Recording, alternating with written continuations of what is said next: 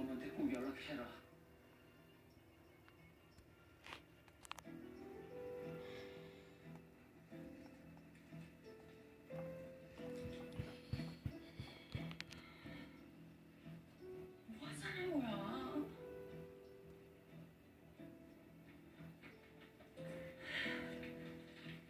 가져가요. 나 아버지 돈 필요 없어요.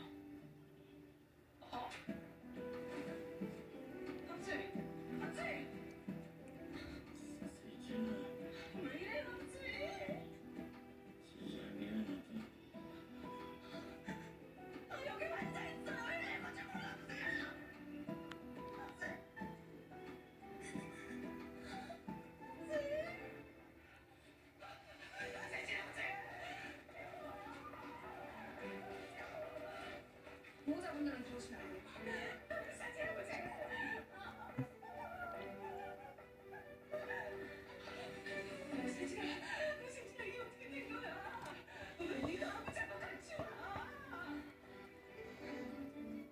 나중에, 나중에 설명할게.